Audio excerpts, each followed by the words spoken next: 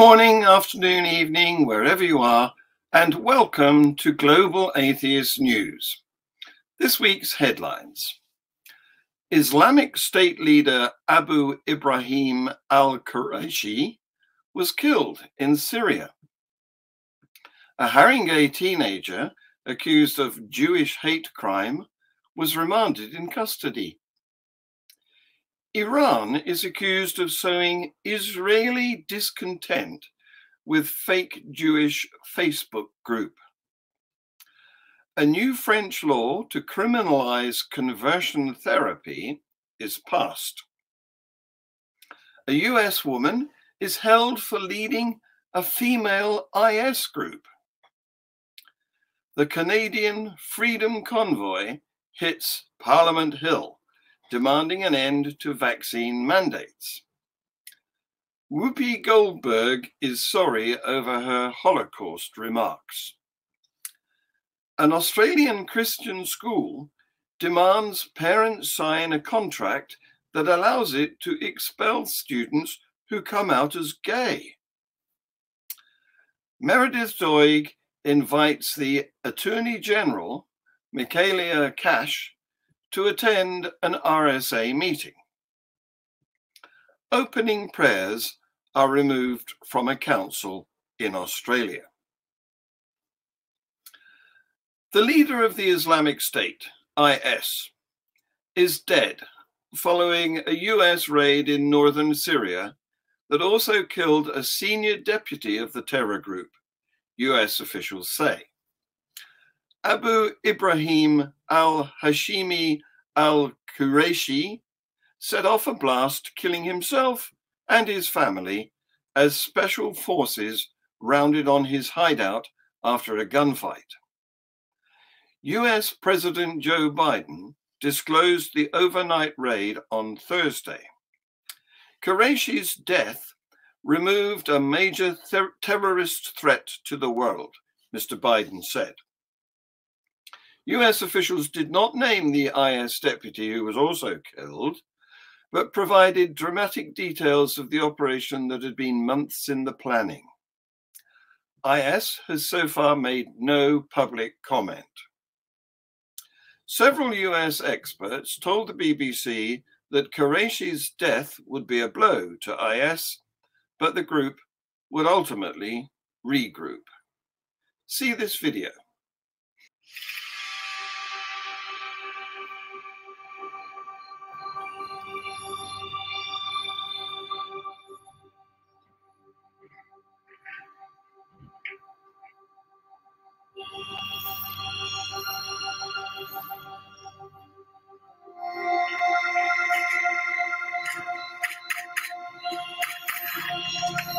Camera,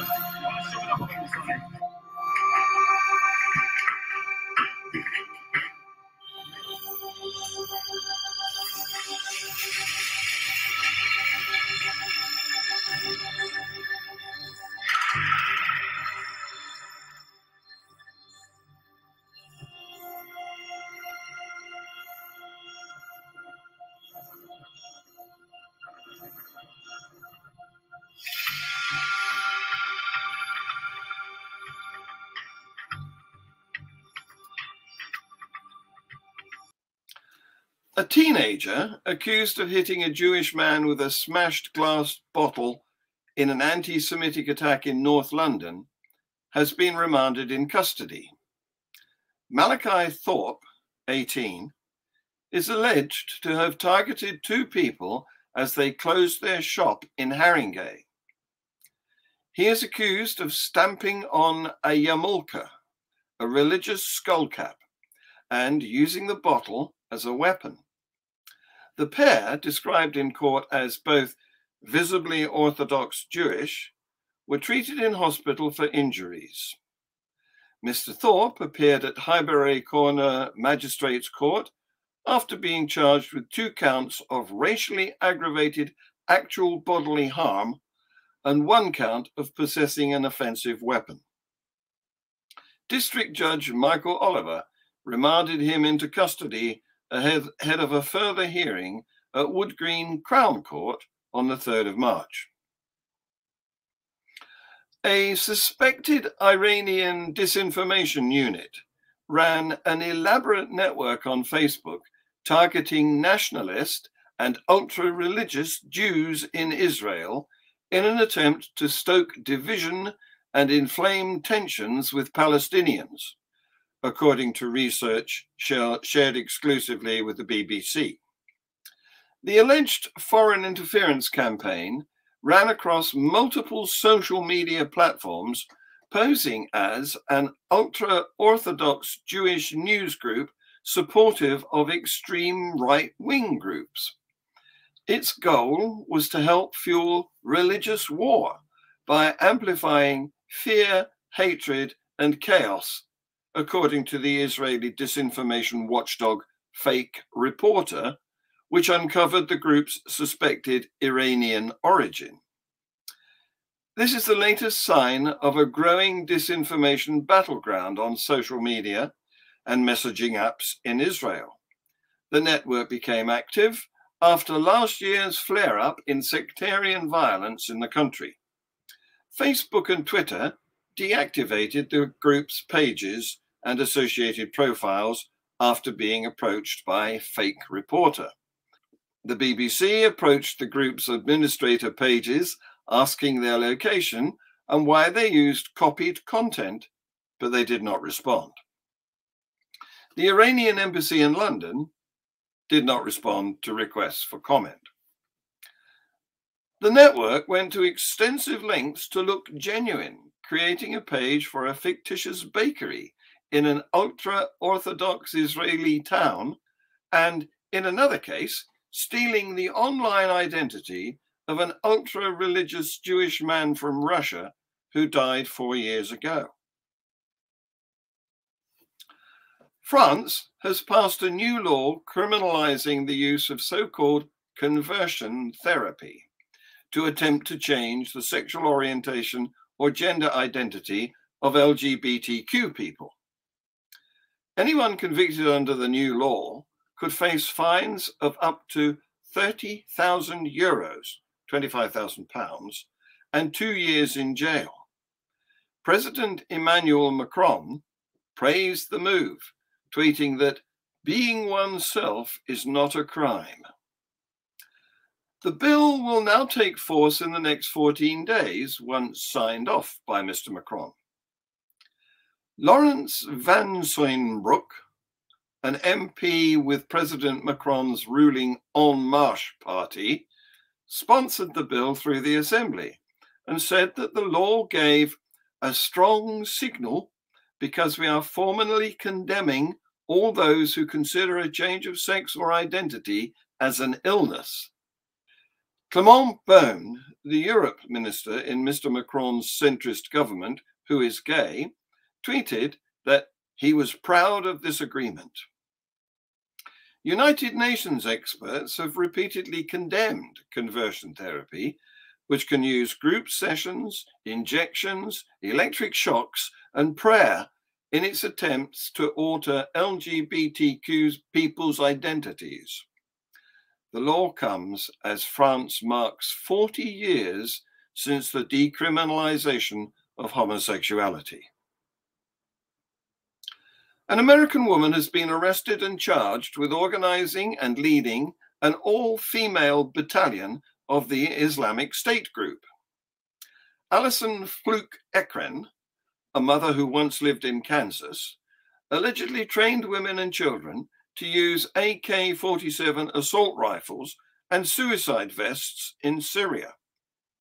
She is also suspected of recruiting operatives for a potential future attack on a US college campus. Ms. Fluke Ekren could face up to 20 years in prison if convicted. The battalion was said to be comprised solely of female IS members who were married to male IS fighters. Ms. Fluke Ekren is suspected of becoming the leader and organizer of the group soon after she joined it. It is alleged that her main role was to teach women how to defend themselves against the enemies of IS.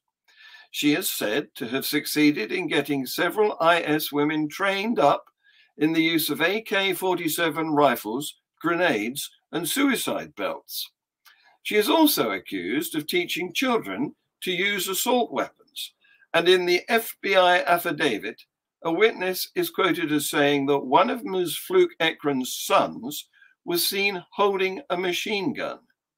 He was five or six years old at the time.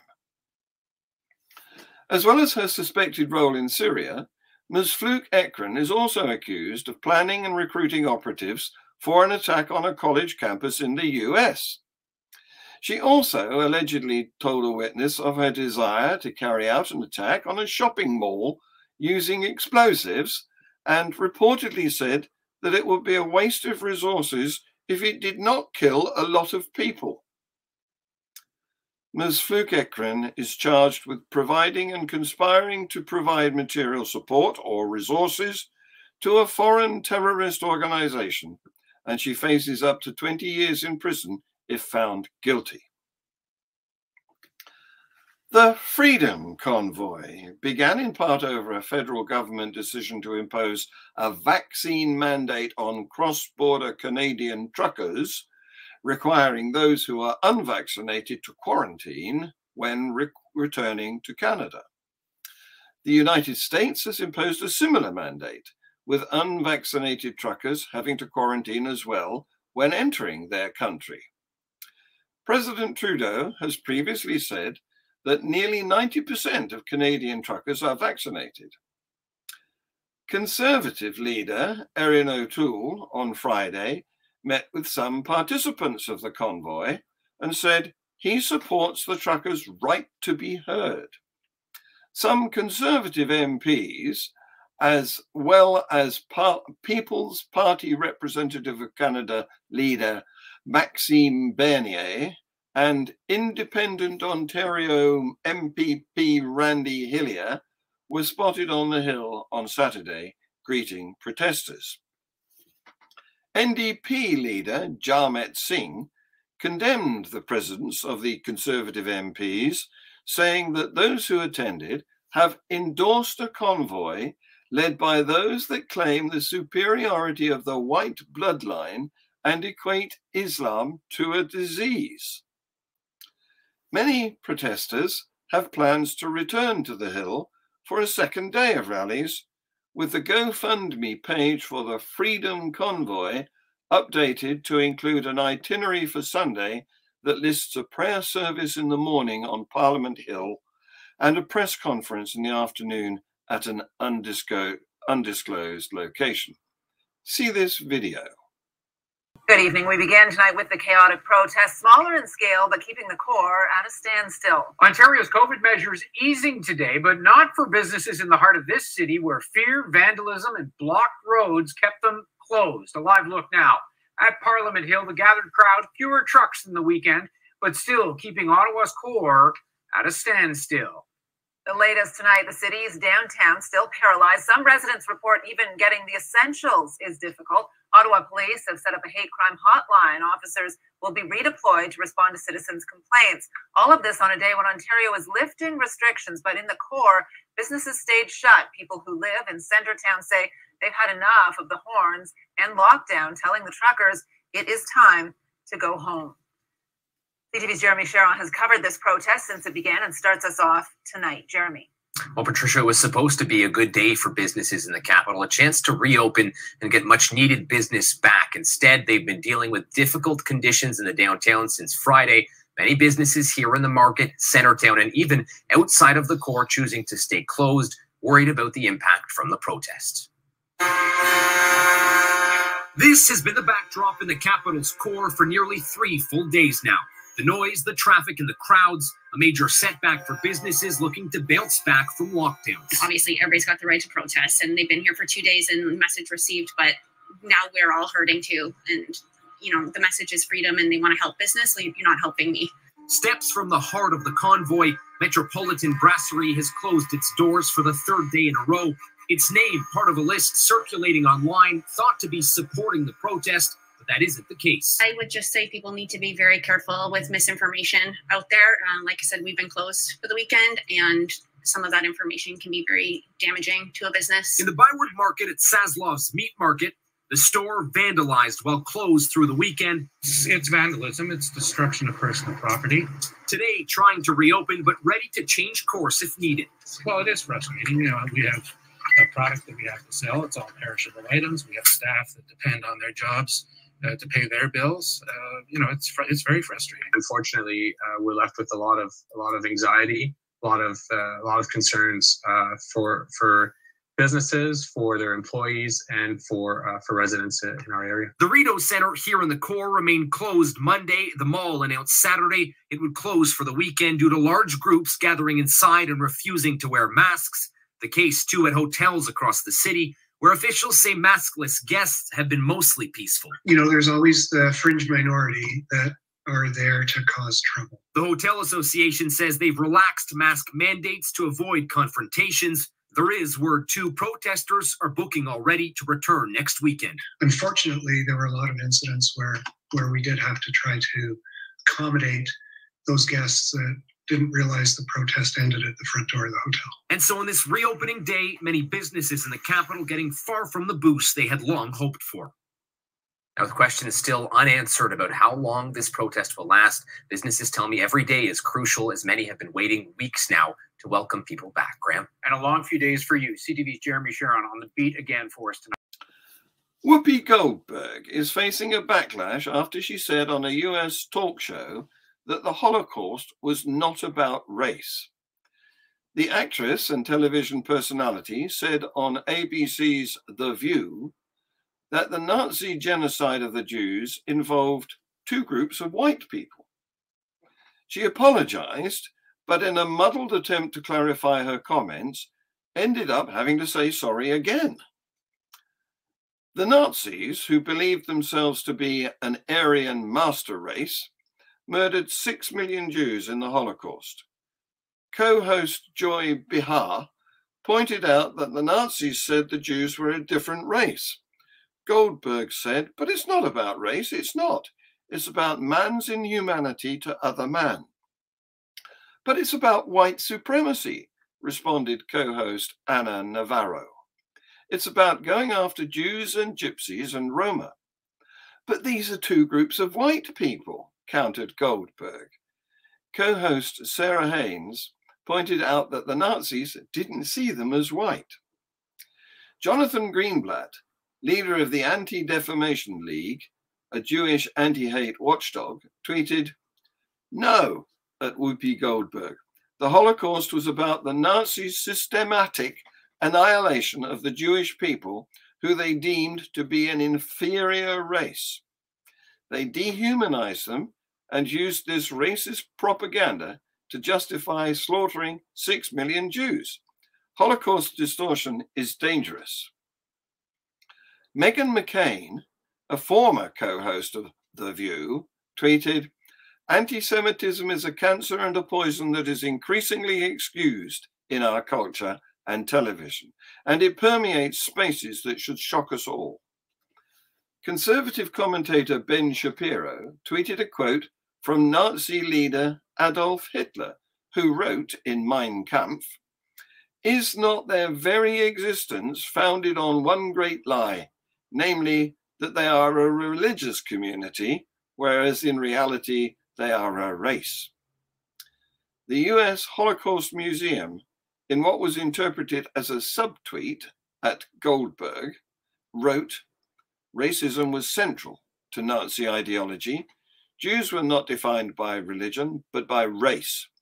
Nazi racist beliefs fueled genocide and mass murder.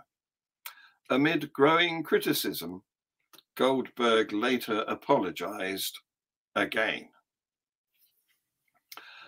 A Christian school in Brisbane has asked parents to sign an enrolment contract that allows it to expel a child who comes out as gay just a week before the school year begins. City Point Christian College at Carindale in Brisbane's southeast sent the extraordinary contract to parents in which it describes homosexuality as immoral and said it will not recognize a student's claim to a gender identity. it also states it would only acknowledge gender assignment given at birth. We believe that any form of sexual immorality, including but not limiting to adultery, fornication, homosexual acts, bisexual acts, bestiality, incest, pedophilia, and pornography, is sinful and offensive to God and is destructive to human relationships and society, part of the contract states. The contract includes new terms referring to a student's biological sex that parents must agree to for a child to be enrolled. Whilst each student is individually valued and equally encouraged to pursue opportunities in both academic and co-curricular activities, I, stroke we, agree that where distinctions are made between male and female, inclusive of, but not limited to, for example, uniforms, presentation, terminology, use of facilities and amenities, participating in sporting events and accommodation, such distinctions will be applied on the basis of the individual's biological sex, it states. Failure to agree to the terms will afford City Point Christian College the right to exclude a student from the college who no longer adheres to the college's doctrinal precepts, including those as to biological sex. The issuing of the contract has sparked a change.org online petition that seeks to have the contract recalled and which currently has over 27,000 signatures. State MP for the area, Corrine McMillan, also took to social media to say she was appalled by the, en the enrollment contract. Families seeking a Christian education should not have to contend with discrimination based on their child's gender or sexuality, she posted. All policies and rules in all Queensland schools must reflect the Queensland Anti Discrimination and Human Rights Acts. In a statement posted on the school's website, its principal, Pastor Brian Mulheron, said the school has always held these Christian beliefs we have tried to be fair and transparent to everyone in our community by making them clear in the enrollment contract. The statement said the contract allowed parents and students to make an informed choice about whether they could support the school's approach to Christian education. Meredith Doig, president of the Rationalist Society of Australia, issued an invitation to Attorney General Michaelia Cash See this video. Recently, we sent Senator Michaelia Cash an invitation to be a guest at one of the Rationalist Society's monthly webinars to speak about the Religious Discrimination Bill. Uh, Cash has said on a number of occasions that the bill will treat uh, religion and non religion, or religious belief and non religious belief, equally. Well, we're interested to speak with her about how that will work. So far, her government has completely ignored the voices of non religious in this country. Uh, last year, during consultations that led up to the development of the third version of the Religious Discrimination Bill, religious lobbyists were given privileged access to the drafting of the bill last June, we wrote to Senator Cash seeking a meeting with her so that we could put our point of view on behalf of the non religious. No response. Adding insult to injury, uh, during the last couple of weeks, when there have been parliamentary inquiries into the Religious Discrimination Bill, no fewer than 41 religious groups uh, appeared before the inquiries not one invitation was extended to a, an atheist, a humanist, a rationalist, or a pro secular group. Not one. Meantime, Senator Cash appears regularly on Christian media, including a one hour webinar with the fundamentalist group Family Voice. So, Senator Cash, will you accept our invitation to appear on our webinar to speak about the Religious Discrimination Bill and how it will treat the non religious equally with the religious. We look forward to hearing from you. And also in Australia, we don't normally hear much from Australia, but today is an exception. There's some good news. Christian prayer rituals were successfully removed from the start of a council meeting. See this video. Reading of a Christian prayer is discriminating and holds no part in our public institutions, especially within the chamber of Shoalhaven City Council.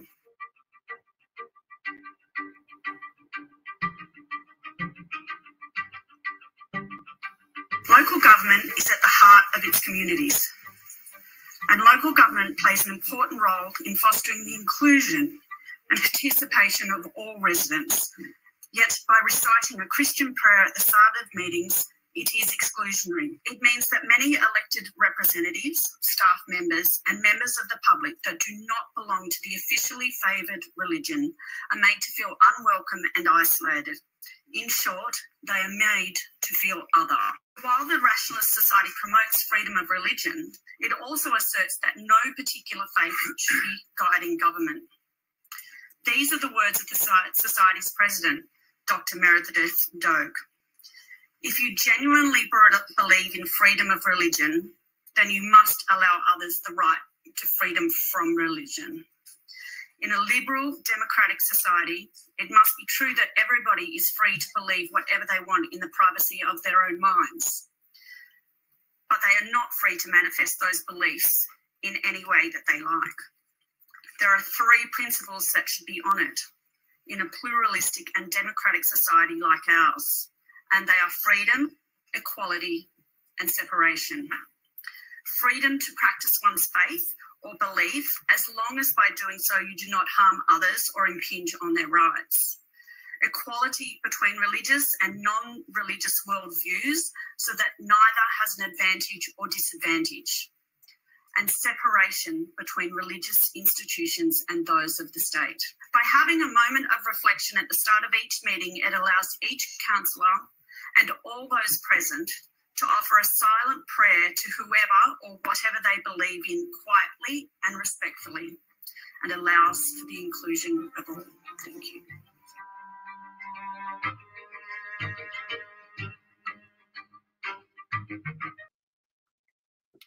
Free Thought Hour, my interview show, will be starting in a few minutes, so stay tuned to this channel. This week's guest is Paul Thompson, a computer boffin who has been a skeptic and atheist activist for many years. You know how we all remember where we were on 9 11? Paul was at the North Tower. Come and chat with us or ask questions live. The GAN team will be back with our weekly news review next week. Please like, share, subscribe, set the notifications, etc. This has been Global Atheist News. Thank you for watching.